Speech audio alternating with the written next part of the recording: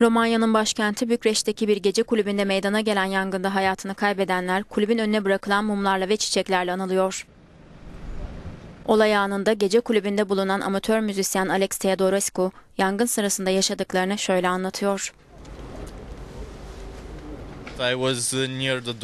Ben kapıya yakın bir yerde duruyordum ve ilk dışarı çıkanlardan biriyim.